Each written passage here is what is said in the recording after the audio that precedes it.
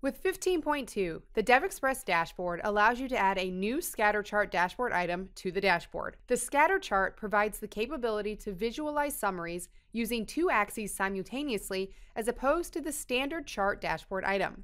Our dashboard is already connected to the SQL database containing sales data. To add the scatter chart, click the corresponding button in the ribbon. Drag and drop the sales field to the x-axis and the margin field to the y-axis. Change the summary type of margin to average and set its format type to percent. Note that the scatter chart now displays a single data point corresponding to grand total values of the sales and margin data items. Add the category field to arguments to visualize summaries for individual categories. The scatter chart also allows you to communicate the value of the third measure using data point size. To do this, drop the profit field to the weight placeholder. You can now see that the tooltip displays three measure values for each point. Now let's add another argument. Drag and drop subcategory to arguments. The scatter chart will create data points for all combinations of available categories and subcategories. To distinguish points corresponding to different categories, click the Categories menu button and select Color by Hue. Points corresponding to different categories will be painted in different colors. The legend in the top right corner shows colors corresponding to categories. Like other data-bound dashboard items, the scatter chart allows you to use various data shaping operations. Click the Subcategory menu button, select Top N, and enable the checkbox. Specify count, select the profit measure, and click Apply. The scatter chart will display points corresponding to the top 10 subcategories. To filter the scatter chart, right-click it and Edit Filter.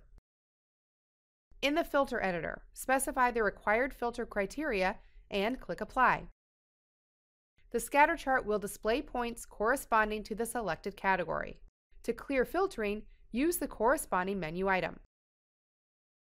Now let's add some interactivity to our scatter chart go to the Data tab and enable Drill Down. You can click the required category to see the detailed data for corresponding subcategories. Use the Drill Up button to move to the parent level.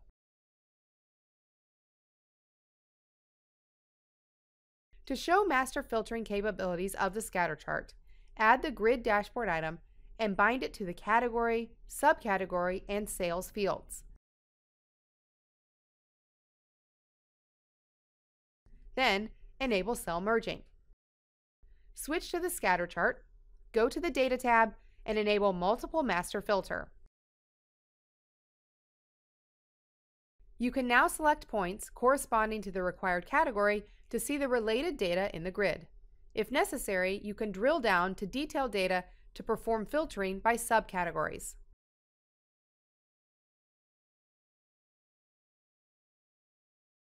The scatter chart also allows you to customize different visualization options. Go to the Design tab and click X-axis Settings.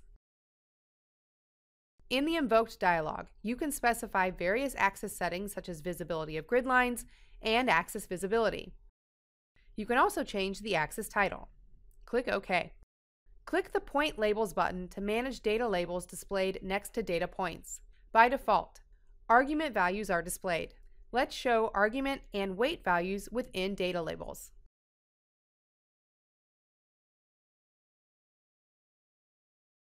As for the chart dashboard item, you can change the legend position. Finally, you can manage coloring of the scatter chart data points using buttons in the coloring group. For instance, click Edit Colors to use the other color for the technology category.